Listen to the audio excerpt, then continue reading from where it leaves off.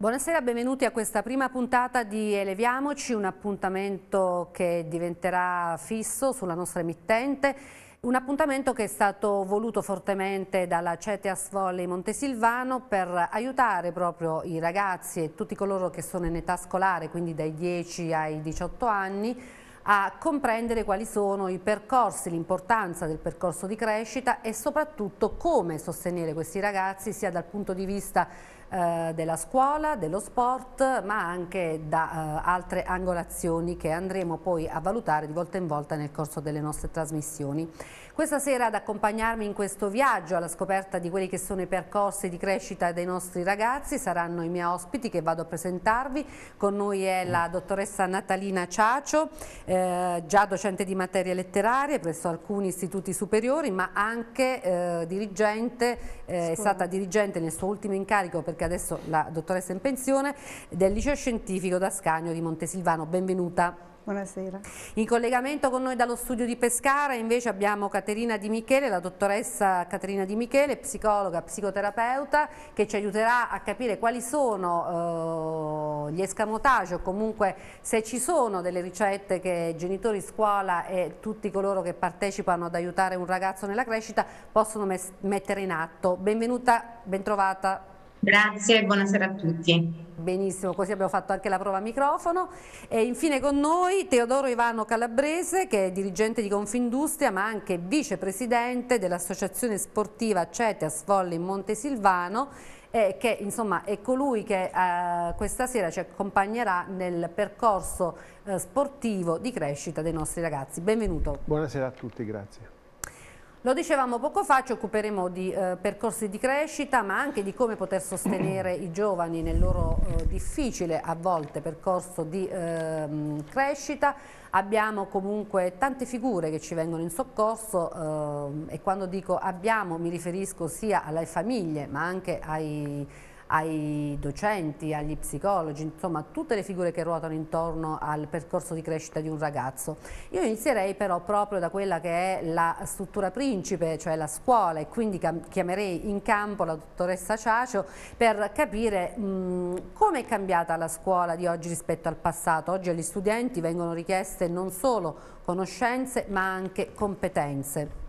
Indubbiamente sì, eh, è il mondo che eh, chiede alla scuola di cambiare perché è proprio il mondo del lavoro che eh, chiede eh, più, maggiormente competenze anziché conoscenze, Anzi, anche se bisogna dire che eh, non, può, mh, eh, non sono avulse le une dalle altre poiché le conoscenze sono lo strumento attraverso il quale noi diciamo, portiamo i ragazzi ad acquisire le competenze. Eh, sono, le competenze eh, possono essere sia tecniche ma anche competenze di vita, quelle che eh, normalmente si definiscono soft, eh, skill, soft eh, skill e hard skill.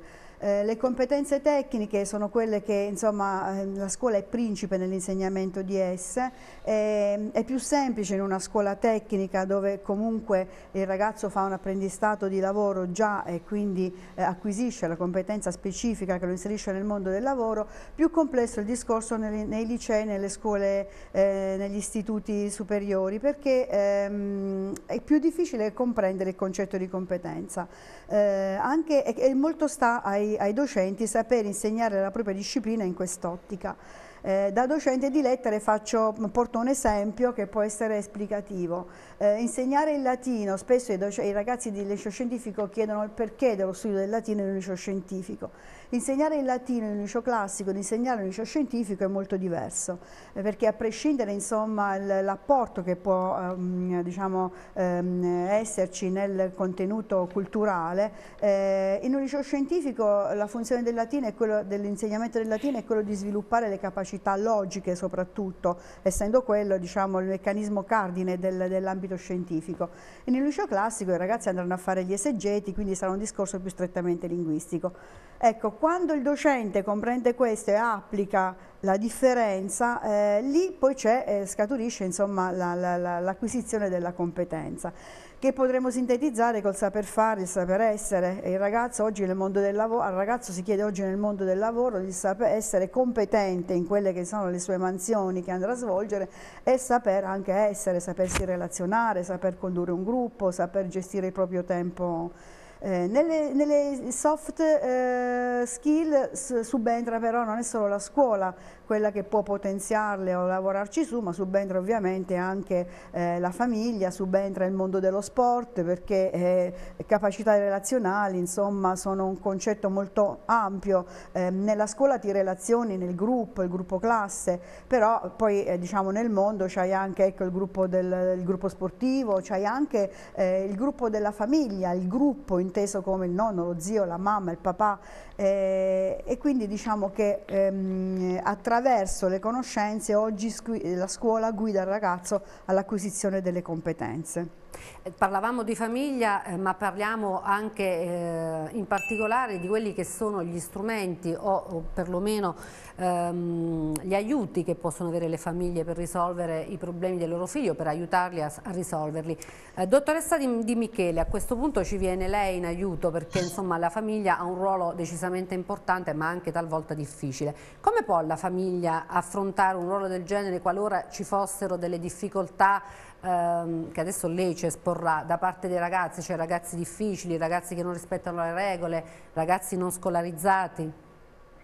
Allora, sì, io vi ringrazio, faccio soltanto una piccola precisazione, eh, sono psicologa, psicologa scolastica, eh, non psicoterapeuta e in quanto appunto psicologa scolastica ho anche collaborato con la dottoressa Ciacio nel, nel liceo d'Ascanio, quindi abbiamo questa esperienza in comune e ce lo siamo dette tante volte, facciamo più fatica a lavorare con i genitori che non con i ragazzi. Sì, le famiglie oggi sono delle famiglie in qualche modo che... Eh, non hanno degli strumenti, è un po' un paradosso perché rispetto a quelle che sono le informazioni, le conoscenze che possono arrivare anche dai, dai media, quindi um, tantissime informazioni su ogni ambito, Ciò nonostante però i genitori di oggi sono dei genitori senza proprio una valigia di lavoro, no? eh, manca un po' quel senso di comunità che avevano invece ad esempio le, le famiglie del passato, quel senso comune di, anche di responsabilità nella crescita del proprio figlio. Quindi ci troviamo con delle coppie genitoriali che sono in qualche modo isolate rispetto alla famiglia d'origine portano con loro comunque un bagaglio di eh, esperienze, di rappresentazioni dell'essere genitore in quanto figlio. Quindi sia il padre che la madre, hanno a che fare con tecnologie che eh, come ogni diciamo, novità spaventa un po' eh, l'essere umano. E quindi ci sono poi le varie strategie che vengono intraprese, la fuga, quindi evitiamo assolutamente di eh, toccare gli smartphone, i tablet, vietiamo l'accesso ai social, eccetera, eccetera, oppure dall'altra parte un uso eh, non corretto che porta poi a, ad essere un modello no, scorretto nei confronti dei, dei ragazzi. Quindi i genitori in affanno. Io nella mia attività clinica quotidiana posso confermare che fanno molta fatica. Eh, ciò nonostante però ci sono appunto delle figure, eh, dei professionisti che sostengono le famiglie la scuola è il contesto privilegiato in cui i ragazzi vivono eh, quotidianamente le loro esperienze, hanno i loro primi successi e le loro prime cadute. E poi abbiamo lo sport, dove inevitabilmente, soprattutto se parliamo di uno sport di squadra come quello della pallavolo, i ragazzi vivono non solo l'esperienza del successo e dell'insuccesso, ma l'esperienza dell'impegno, della condivisione, del sentirsi gruppo confrontandosi però con dei modelli e i modelli sono gli educatori, sono gli istruttori tecnici, sono le figure adulte che ruotano intorno ai ragazzi, quindi non solo i genitori, ma per fortuna se eh, vivono questa esperienza anche al di fuori extrascolastiche, i ragazzi hanno la possibilità di confrontarsi con altre figure adulte. Certo è che dobbiamo andare in qualche modo eh, sulla stessa via, comunque avere in qualche modo la stessa idea di azione pedagogica, di ciò che è lecito, ciò che non è lecito, di ciò che è corretto o no. I genitori sono, io parlo anche da mamma e Manuela lo sa benissimo come preside dei miei due figli, insomma, quanti errori si possono commettere quotidianamente nell'essere genitori. Um, e non è un messiere facile, diciamo. E non è un messiere facile. Ecco, è un mestiere, è una crescita, è un, un percorso che si eh, fa in evoluzione accompagnando i figli, quindi si cresce come genitori e contemporaneamente si crescono i figli, quindi è ancora più complesso come, come, come strutturazione. Certo però non mancano in qualche modo quelli che sono gli strumenti che possono essere acquisiti, quindi non è che i genitori non hanno strumenti e li lasciamo lì da soli. Ecco, l'ascolto è sicuramente uno degli aspetti più importanti su cui i genitori devono un attimo tornare no? a rallentare, a soffermarsi. Io dico sempre, osservate, oltre al comportamento c'è un'emozione è l'emozione che va ascoltata, che va accolta. Proprio ieri parlavo con dei genitori e facevo questo esempio, bisogna sintonizzarsi, no? come facevamo una volta con la radio, su quella che è l'emozione che il bambino, che il ragazzo sta provando e restituirgliela, mandargli Empatia. un feedback. Esatto, bravissima, empatia, cioè io ci sono, ho compreso che tu sei agitato, sei preoccupato, sei arrabbiato, io ci sono e giustifico la tua emozione, non la nego, non la castro. Noi spesso cadiamo nell'errore dicendo frasi del tipo non ti devi arrabbiare, non devi essere triste. Ma come facciamo a eh, spegnere un'emozione? Come facciamo? Le neuroscienze ce lo insegnano eh, ogni giorno, ci sono delle aree del nostro cervello in cui le emozioni nascono e noi non possiamo impedire, le emozioni ci servono per sopravvivere in quanto animali. Quello che noi come adulti possiamo fare con i ragazzi è quello di dire puoi provare quell'emozione, io se vuoi ti aiuto nel gestirla, nel gestire l'intensità di quell'emozione per non portarti a mettere in atto dei comportamenti che poi possono essere appunto dei comportamenti problema. Quindi in, qualche, in, qualche, modo è un discorso molto, molto ampio e l'ascolto per me è una delle armi a favore sia dei genitori che di tutti gli altri adulti che hanno a che fare con i ragazzi. E una, una cosa che mi sento di dire sempre ai genitori è che i bambini e i ragazzi devono vivere le emozioni. Troppo spesso mi capita di vedere genitori, soprattutto con i bambini piccoli, quindi iniziamo già molto presto a bloccare le emozioni. Il bambino piange, ha un capriccio, si fa di tutto per evitare, non si sopporta che il bambino piange e invece no, bisogna accogliere l'emozione e accompagnare il figlio in, questo, in questa scoperta esatto. anche dell'emozione. Esatto. Io fermo un attimo perché vorrei concludere il giro delle prime domande e poi eh, sicuramente torneremo su questo argomento perché a proposito di conoscere se stessi, conoscere le proprie emozioni, sviluppare empatia, tutto ciò è un bagaglio che a un ragazzo ovviamente agevola poi quello che è il ruolo delle relazioni sociali e proprio nelle relazioni sociali si innesta lo sport che è diciamo, uno dei, dei, valori aggiuntivi che insomma, una famiglia, un genitore ha proprio per insegnare ai propri figli sia la disciplina sia ehm, il rispetto delle regole, ma soprattutto per avviarlo su un percorso di crescita. Allora, come può lo sport nello specifico, questo lo chiedo proprio a Ivano Calabrese, come può lo sport e la pratica sportiva aiutare un ragazzo eh, nel gestire e nel migliorare la gestione delle sue relazioni? Eh, diciamo che il terzo elemento, oltre scuola e famiglia, quello, eh, lo sport che abitua la persona eh, sia dall'età più giovane, noi abbiamo ragazzi che frequentano le nostre palestre dall'età di 5 anni eh, con il cosiddetto mini volley fino all'età superiori, eh, li abitua una, alla condivisione di obiettivi, al rispetto di regole, allo stare insieme agli altri, ad essere squadra, quindi a lavorare con una precisa linea eh, guida, seguire degli, dei modelli come diceva la, la psicologa, eh, quindi seguire i loro allenatori, ehm, e questo, eh, questo tipo di, di allenamento eh, è molto utile sia per quanto riguarda poi la vita scolastica ma ancora di più nella vita eh, lavorativa. Io personalmente ho avuto esperienze di questo tipo e vi assicuro che eh, nei miei tanti anni di, di, di lavoro nell'ambito delle imprese ho riscontrato quotidianamente questo parallelismo tra eh, la squadra sportiva, tra la pratica sportiva e il lavoro. Eh, perché ci si abitua a, lavorare insieme, a far gruppo, ci si abitua alla, a, a gestire le sconfitte, a imparare dai momenti critici, a dare la giusta valutazione in momenti invece di esaltazione alle vittorie eh, ed è diciamo, ormai abbastanza anche consolidato il fatto che una persona che, che, abbia praticato attività sportiva nello stesso periodo ha anche dei buoni risultati a scuola e viceversa.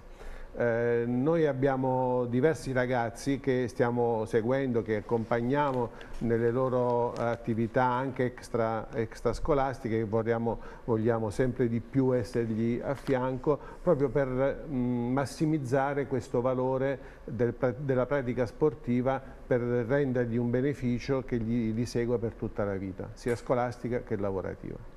Benissimo, e parlando proprio di sport e del ruolo che ha il, lo sport per l'avviamento nel mondo del lavoro, noi abbiamo chiamato in campo anche un vostro riferimento ed è il presidente del gruppo di Cosimo, main sponsor della CETEAS Volley Montesilvano, che vuole proprio portare un suo saluto ai nostri telespettatori ma anche ai ragazzi che sono poi gli sportivi della vostra squadra. Sentiamolo. Buonasera a tutti, grazie dell'invito.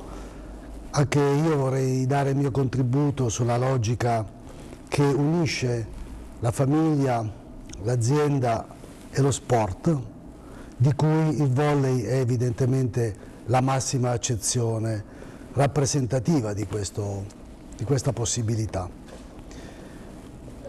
Tutte le persone che stanno in, in un ambito, per qualsiasi ragione, stanno insieme, hanno bisogno di collaborare la collaborazione può nascere solo se c'è un gioco di squadra, cioè ognuno sa esattamente quello che deve fare, perché lo deve fare o perché non deve fare determinate cose.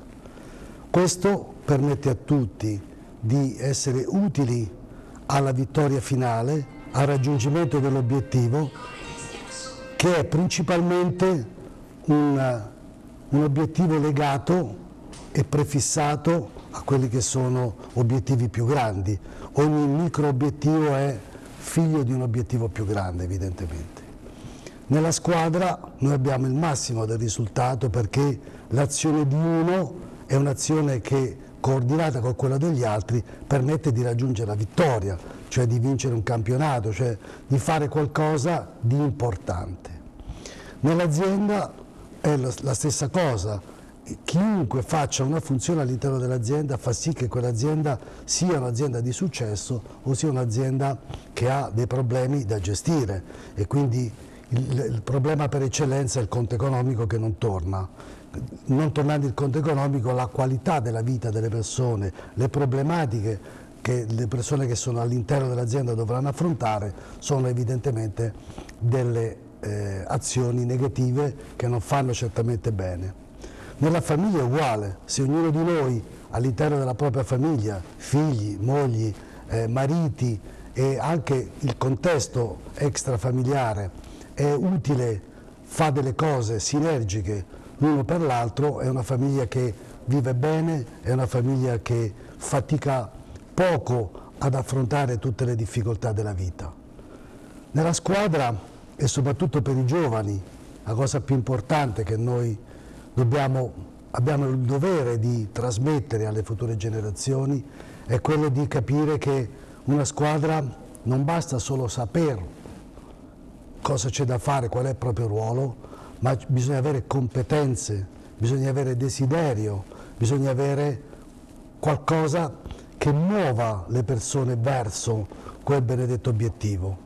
Quindi la vittoria con dei buoni giocatori la, fare, la può fare chiunque, ma uno solo vince il campionato, quello che nel tempo mantiene sempre di più attivo il desiderio dell'obiettivo, quello che gioca meglio come squadra, anche se individualmente potrebbero non essere eh, i migliori del campionato, ma il gioco di squadra può far sì che anche una squadra che non sia la migliore può vincere a dispetto di quella che ha le migliori individualità. Cioè lo stare insieme, la squadra, è qualcosa che veramente può ottenere qualsiasi tipo di risultato, può raggiungere qualsiasi vetta. Credo che questo Natale possa ricordarci che noi facciamo parte di una grande famiglia che è quella del mondo, dove tutti quanti vorremmo vivere meglio, ma ognuno di noi deve essere in grado di fare bene il proprio ruolo E poi questo Natale, ecco, ricordiamoci che facciamo tutti parte della nostra famiglia, ricordiamoci che le cose belle sono belle, gli affetti sono cose rare e le dobbiamo anch'esse coltivare facendo la nostra parte e fare in modo che anche questo Natale, queste feste vengano trascorse nel miglior modo possibile, nella, con la serenità maggiore che possiamo mettere in campo facendo la nostra parte anche in questo, cioè piccoli gesti che permettono all'altro di apprezzare la nostra presenza, che permettono all'altro di dire ho piacere di stare con te e quindi ne approfitto per fare gli auguri a tutti, alla squadra e a tutte le persone che ci ascoltano e anche a voi che siete nello studio. Saluti, ciao! E dopo gli auguri del, di Antonio Di Cosimo torniamo a parlare invece di quello che è il ruolo della famiglia. Allora, dicevamo che sicuramente eh, è un ruolo chiave, noi sappiamo che la professoressa Ciacio ha un decalogo del buon genitore. Quali sono i punti essenziali di questo decalogo? Sì, Poi magari chi è interessato se lo va a cercare. Un decalogo che ho scoperto come genitrice quando ho un momento di crisi ho trovato nel decalogo di una psicologa Paola Di, Blasio, sono 10 punti, ne leggerò alcuni perché sono appunto tanti. Il primo è adattarsi al ruolo di genitore Spesso siamo, noi genitori pretendiamo fin da piccoli che i bambini eh, si adattino ai nostri tempi e alle nostre esigenze, già questo è un primo errore perché io la ritengo una violenza sul bambino, gli stessi eh, tempi di sonno, tempi, no? eh, il bambino va rispettato già da appena nato in queste cose.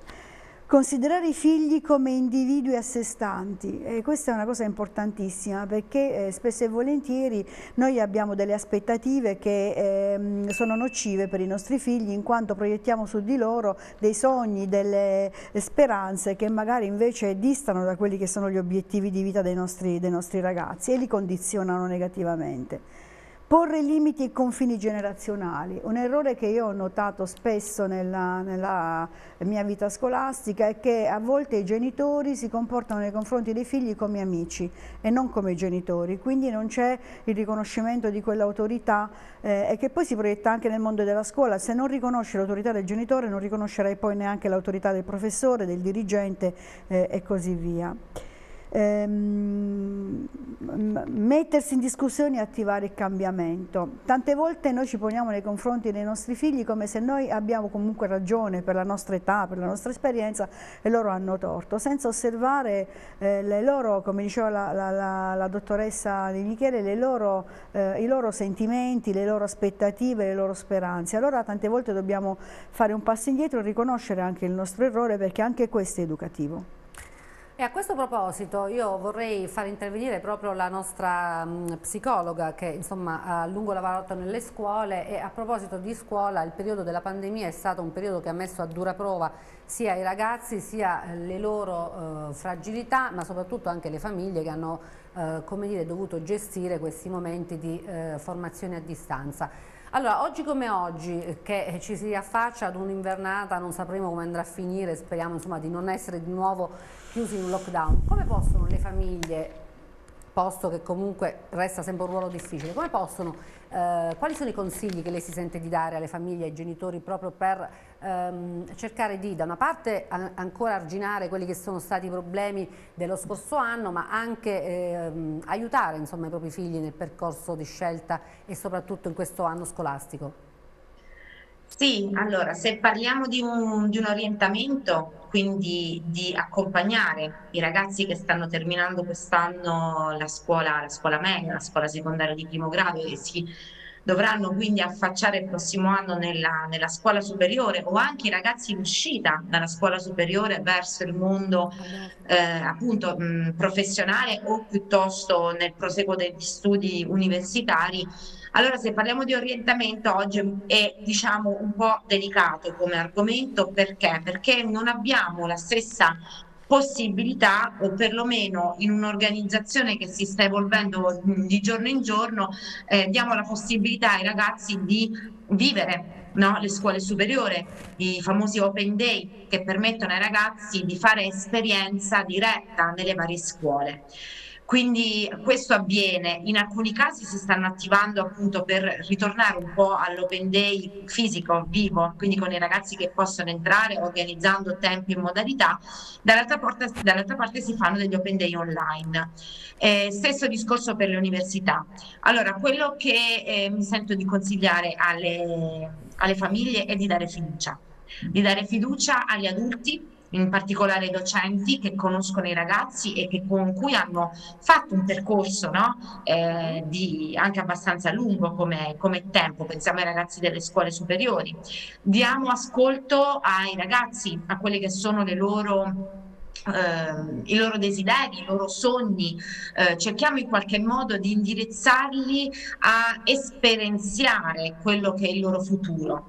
È chiaro che i ragazzi, e questo è alla luce di, da sempre nel sistema scolastico italiano, che i nostri ragazzi di 13-14 anni sono giovani per poter scegliere in qualche modo quella che è la scuola successiva. Eh, scuola successiva che, come ha detto appunto eh, la dottoressa Ciaccio, è molto differenziata dal tecnico al professionale, al liceo e quindi è difficile chiedere ad un ragazzo di 13-14 anni che cosa vuoi fare da grande e quindi poi accompagnarlo nella scelta.